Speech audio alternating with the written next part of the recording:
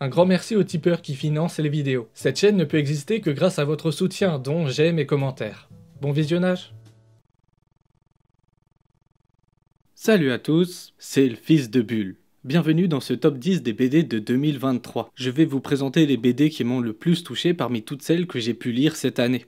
Comme d'habitude, je précise, j'ai pas pu tout lire. J'ai pas assez d'argent pour ça. Donc c'est totalement subjectif, partiel et partial. Et vous avez les commentaires pour nous faire part de votre top 10 à vous. Faites-nous découvrir vos pépites. Contrairement à l'an dernier, j'ai sélectionné bel et bien 10 albums, pas un de plus. Il n'y a pas vraiment de classement, il y a plein de bonnes œuvres dont je vais pas parler ici. N'hésitez pas à aller picorer mon compte Instagram pour découvrir d'autres bonnes BD dont j'ai parlé. J'essaye d'y faire autant que possible un retour à chaque fois que je lis une nouveauté, même si j'ai parfois un peu la flemme. Ici donc, il ne sera question que de mes coups de cœur personnels, des albums à offrir et à s'offrir. Certains sont très accessibles, d'autres moins. Vous me direz lesquels je vous ai donné envie de lire dans les commentaires.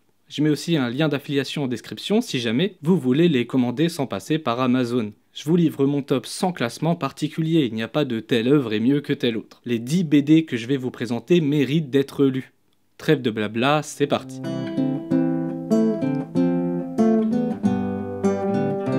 Une nuit avec toi. C'est peut-être l'album le plus accessible de ma sélection. C'est écrit par Maran, par respect je vais pas essayer de prononcer son nom de famille, et c'est publié chez Glénat. Une nuit avec toi nous raconte l'aventure d'une femme très belle, inlassablement draguée par les hommes. Évidemment, c'est une situation qu'elle n'a pas choisie et qu'elle subit.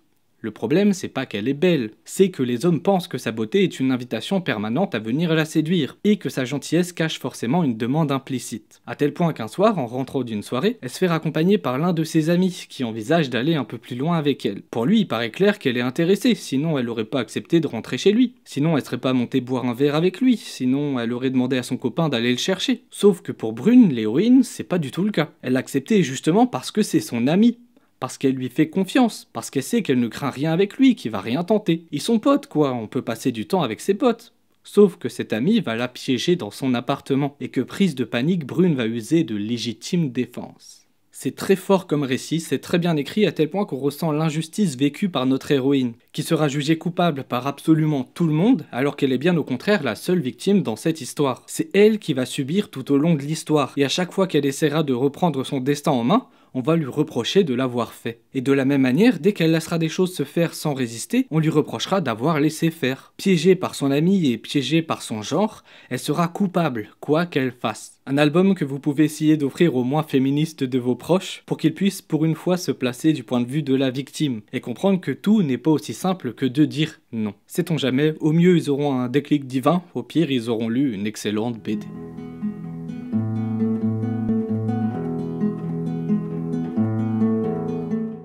Creuser Vogue. Excellent BD de type documentaire cette fois. J'en ai parlé sur la chaîne On a marché sur la bulle, je vous remets l'extrait. Il s'agit de Creuser Vogue de Delphine Panique, sorti cette année aux éditions Cornelius. Delphine Panique, c'est une autrice féministe très engagée qui ne parle quasiment que de ça. À force de parler de sujets importants comme la situation des femmes ou des migrants, elle a fini par s'interroger sur le format même du documentaire. Elle s'est demandé pourquoi il fallait toujours montrer la réalité dans ce qu'elle avait de plus cru et de plus authentique. Elle s'est demandé si c'était réellement le plus pertinent, si on ne pouvait pas faire autrement. Pour faire passer un message et pour dire le vrai, ne pourrait-on pas aussi passer par l'absurde et la fiction? Eh bien, Creuser Voguer, c'est un peu le fruit de cette réflexion. L'album parle des travailleuses isolées, souvent immigrées, qui pratiquent des boulots précaires et bien souvent dangereux pour nourrir leur famille. Sauf que là, nous n'allons pas parler des travailleuses réelles qui s'échinent le dos à ramasser des patates ou qui s'usent la santé pour travailler dans des mines de charbon. Non. Ici, nous allons nous intéresser à des métiers fictifs comme la pêche aux barbes, le tissage du bleu ou bien l'accompagnement d'enfants drôles. Tout cela pour essayer, à travers la fiction, de parler du réel dans ce qu'il a de plus horrible. Si jamais vous voulez en savoir plus, je vous redirige vers la vidéo sus-mentionnée. Et de toute façon, on aura l'occasion d'en reparler l'an prochain sur la chaîne.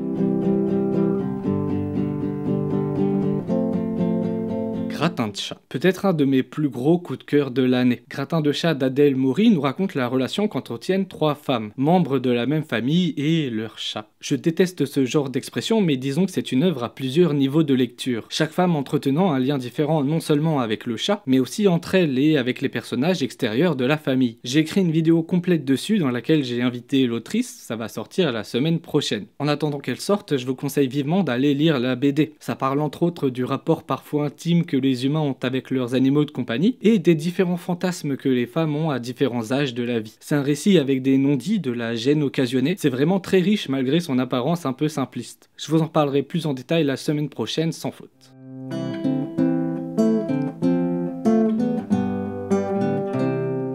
Sibylla. Alors celle-ci, je sais pas trop comment vous la présenter. C'est surtout une expérience graphique, c'est une œuvre très libre dans sa composition. La gestion du mouvement est tout à fait incroyable. Et bon, en gros, l'auteur Max Beitinger essaye pour l'anniversaire de la poétesse Sibylla Schwartz d'écrire une biographie à son sujet. Le problème, c'est qu'il y a très peu de sources à son propos, étant donné que c'était une poétesse méconnue du Moyen Âge, morte à l'âge de 17 ans. L'auteur va donc mélanger des éléments réels et des éléments inventés, en faisant des propositions, des suppositions sur sa vie, sur sa relation avec son père, avec les hommes. Et pour compenser le peu de fond, parce qu'au fond l'album ne nous apprend quasiment rien sur Sibylla, eh ben il va suggérer avec son dessin des émotions ou des éléments biographiques, en faisant voltiger son trait, en laissant des choses en suspens. Comme je l'avais dit dans ma chronique sur Instagram, abonnez-vous, c'est gratuit je cite. Max Beitinger nous propose de revisiter une partie de sa vie et de ses poèmes, se libérant de tous les codes bédesques pour essayer de rejoindre la liberté poétique de Sibylla. Un simple trait parfois, une évocation un peu abstraite, puis un bout de biographie, légère, qui finalement ne dit quasiment rien, mais qui fait ressentir beaucoup. Je pense sincèrement que je pourrais jamais mieux formuler ce que je pense de l'œuvre. Ça m'a beaucoup marqué. C'est un album que je relirai avec plaisir et dont je vous parlerai un peu plus en détail l'an prochain. L'épisode est déjà écrit. C'est vraiment beau. Pas l'épisode, hein, je parle de la BD. Et comme le disait Sibylla, si tu ne goûtes ma piètre écriture, ni le noble sucre de la plume, alors abandonne sans tarder ta lecture avant qu'elle ne te trouble plus encore.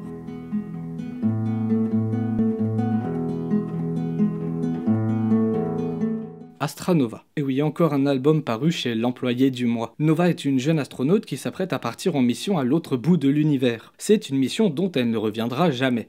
Mais, avant de partir, elle doit se plier à une formalité assister à la petite fête d'adieu que lui a concoctée l'agence spatiale. Étant donné qu'elle n'a pas trop d'amis, l'agence a contacté d'anciens amis à elle, des amis de l'époque du lycée, des gens qu'elle n'a pas revus depuis des années, et avec lesquels elle ne partage plus rien. La BD va se concentrer sur cette fête d'adieu et sur les retrouvailles de ses anciens amis, qui vont devoir s'apprivoiser à nouveau malgré les non-dits et le temps qui a passé. C'est pas un album très joyeux. Ça parle principalement de la solitude sous toutes ses formes. Nova est seule parce que c'est son choix, mais ses anciens amis le sont tout autant, bien que selon des modalités différentes. L'une de ses anciennes amies par exemple est mère de famille, elle a des enfants et pourtant elle se sent seule malgré tout. Voilà, je vais pas vous en parler plus en détail, je vous en avais déjà parlé plus ou moins longuement dans une ancienne vidéo, celle sur Je déteste la SF, donc si ça vous botte, n'hésitez pas à aller la regarder. Ah et oui aussi, ça je l'ai pas mentionné dans ma petite analyse, mais à un moment Lisa Blumen fait référence à la chanson Pour ne pas vivre seul de Michel Thor chanson que j'aime beaucoup, donc elle gagne des points. Pour être sincère, ça ne m'étonnerait pas d'ailleurs que l'œuvre reçoive un petit prix à Angoulême.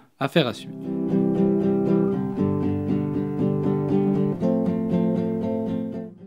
Faroware, ou un truc comme ça. Vous connaissez Giorgio de Chirico? Bon, si je vous donne le nom comme ça, c'est pas sûr mais si je vous montre les tableaux, là il y a moyen que ça vous dise quelque chose. La plupart des peintures représentent des paysages avec des bâtiments à l'architecture grèce antique, avec des perspectives travaillées, c'est très beau d'un point de vue classiciste. À ceci près que, dans ce paysage ancien se promènent des personnages un peu plus contemporains, en veste de costard, voire des monstres de ferraille aussi appelés le plus marquant sans doute, c'est cette ambiance pesante un peu vide, c'est le désert. L'architecture est très géométrique, avec des lignes droites, des jolis angles. Mais à part ça, à part les bâtiments et les quelques ajouts, comme les statues, il n'y a rien. Il y a un truc qui va pas, comme si les bâtiments ne servaient à rien, qu'ils existaient simplement pour exister, sans n'avoir aucune utilité. Eh bien, si la peinture est dorénavant passée à autre chose, les artistes étant partis explorer d'autres horizons, ce n'est pas le cas de la bande dessinée. Dans Erstein Kostis et dans Farrower, deux titres que je ne sais absolument pas prononcer, Margot Messonnier va s'inspirer de ce genre de peinture pour créer ses univers particuliers. Farrower nous raconte le quotidien d'un village côtier touristique qui sombre peu à peu dans l'oubli. De moins en moins de touristes viennent chaque année et les habitants commerçants sont donc livrés à eux-mêmes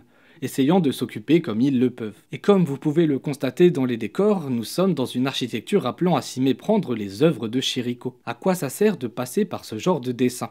Eh bien, à plusieurs choses. Puisque tout est vide et sans finalité, on ressent un fort sentiment de solitude. Il n'y a rien, il ne se passe rien. Et absolument tous les personnages sont seuls. Tout Fareware respire à la solitude. Mais il y a un peu plus que ça. Cette BD est à la frontière de l'absurde et du sérieux. Tout est à la fois très sérieux et complètement loufoque. Tout ce qui la compose est à l'image de son architecture, bizarre, sans qu'une tête et pourtant extrêmement sérieux. C'est pas de l'absurde pour l'absurde, c'est pas de l'absurde amusant, c'est de l'absurde qui dit quelque chose de vrai. Ça parle des rêves et ça parle de la réalité. Et la fin d'ailleurs est tout autant risible qu'émouvante. Je vous conseille vivement d'aller jeter un œil, c'est une œuvre qui peut faire peur vue de l'extérieur, qui semble être trop absurde, de n'avoir aucun sens. C'est déstabilisant, ouais. Mais putain, ce que ça parle aux tripes.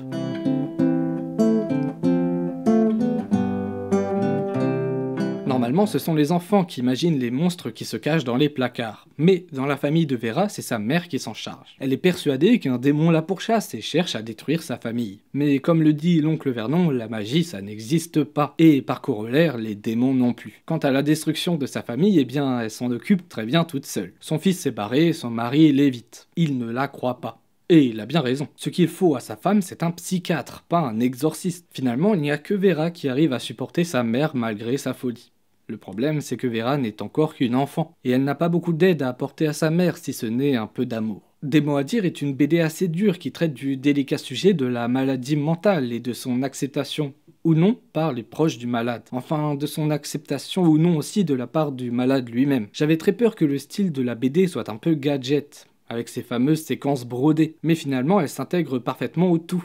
Elles ont un sens réel par rapport au passé de la mère. Elles apportent une touche supplémentaire au souvenir. Pareil pour le reste de la BD, dessinée avec un trait un peu naïf, on dirait parfois un album jeunesse. Et ça coïncide parfaitement avec l'état d'esprit de la jeune Vera, qui est une petite fille d'une dizaine d'années. Le mélange des deux, de la broderie et du dessin naïf, ça donne une ambiance très particulière à l'œuvre et ça fonctionne parfaitement. Mais ne vous laissez pas voir, le thème est très lourd, tout comme la BD. C'est du lourd comme on disait à mon époque pas si lointaine.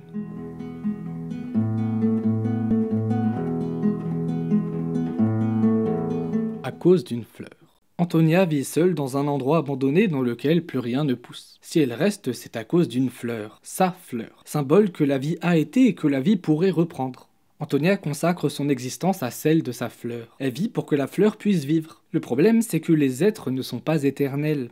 Un jour, Antonia mourra. Un jour, sa fleur se flétrira. Elle se met alors en tête de rendre sa fleur fertile, de lui offrir des amis, de nouvelles graines. Mais comment faire? C'est alors qu'un jour une femme lui rend visite. Une femme qui collectionne les sons. Elle pourrait bien aider Antonia à résoudre son problème, mais pour cela, il faudrait qu'elle abandonne sa fleur quelques jours, le temps d'accomplir un voyage initiatique. Ce court résumé est loin d'être à la hauteur de l'œuvre. Je suis le premier à ricaner sournoisement en entendant des termes comme roman graphique.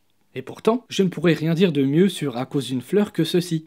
C'est un poème graphique. C'est pas étonnant que l'autrice ait mis trois ans pour faire éclore cette BD, car elle est magnifique de bout en bout. Que ce soit la douceur des couleurs, la composition extraordinaire, le dessin léger, la façon d'agencer les phrases, la maîtrise du découpage, c'est une leçon de bande dessinée tout autant qu'un voyage onirique. À lire absolument, c'est doux, c'est beau, c'est grand.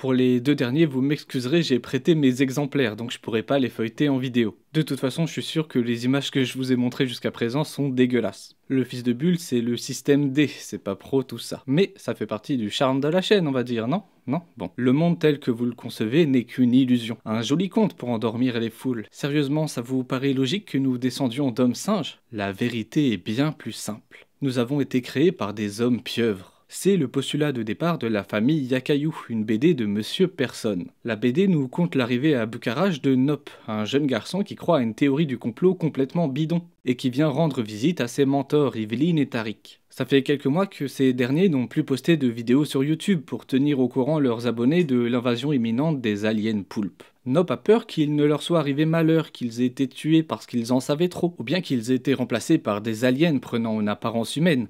Et justement. Quand il les rencontre, il se rend compte qu'Yveline et Tariq ne sont pas comme dans leurs vidéos. Ils ne parlent pas en permanence du complot en cours, ils jouent dehors avec leurs enfants, regardent des films en famille. Ils n'ont pas le comportement qu'ils devraient avoir. Alors Nop se prend à douter. Soit tout ce qu'ils lui ont raconté depuis le début est faux, soit ils sont devenus des hommes poulpes à leur tour, soit et ce serait encore pire, la fin du monde est pour bientôt et ils profitent de leurs derniers instants sur Terre. La famille Yakayu, c'est un récit tout public. C'est l'une des BD les plus accessibles de ma sélection. C'est une BD toute en douceur qui nous plonge directement chez les tenants. Nous partageons leur quotidien, leurs doutes et fatalement on finit par se prendre au jeu. Et c'est dire que, en effet, ça se trouve, il y a bien un complot en jeu. En fait, le truc c'est qu'on est plongé dans une fiction. Et au sein d'une fiction, bah tout est possible. Donc en tant que lecteur, on sait jamais trop à quel niveau on se situe.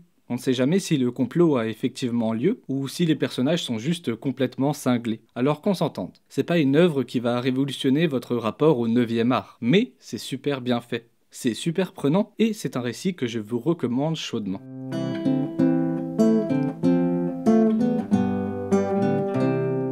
Ô maître Adrix, votre phallus est tel un glaive dans l'espace, transperçant la voie lactée? Euh, ouais. Bon, en gros, Fred a décidé de jouer dans un film érotique de série Z, Les aventures d'Adrix le Destructeur, l'empereur des neuf galaxies. C'est un film très mal écrit et probablement très mal réalisé, puisque l'entièreté des comédiens et de tous les autres intervenants sont des amateurs. Et le pire, c'est qu'Elise, la meuf de Fred, n'est pas tout à fait partante pour que son mec aille se taper la sorcière bleue devant la caméra et l'ensemble de leurs amis. Alors oui, dit comme ça, on dirait que Les boules d'Antoine Breda est une BD un peu loufoque et sans grand intérêt. Sauf que, si Fred et sa bande de potes se donnent tant de mal à produire ce mauvais film, c'est qu'il s'agit de la dernière œuvre écrite par un de leurs amis récemment décédé. S'ils veulent tourner Adrix, c'est pour lui rendre hommage, pour que son œuvre, aussi médiocre soit-elle, lui survive encore un peu. Il ne s'agit donc pas d'une BD à la con pour faire rire les beaufs, mais plutôt d'une BD qui parle de deuil, d'amour, d'amitié et de notre rapport à l'art. Et c'est ce glissement qui fait de la BD une BD qui mérite d'être lue. C'est extrêmement doux, bienveillant, nullement provocateur, même si le pitch laisse présager du contraire. Le cadre de l'histoire est complètement débile, mais l'histoire qui nous est racontée, elle,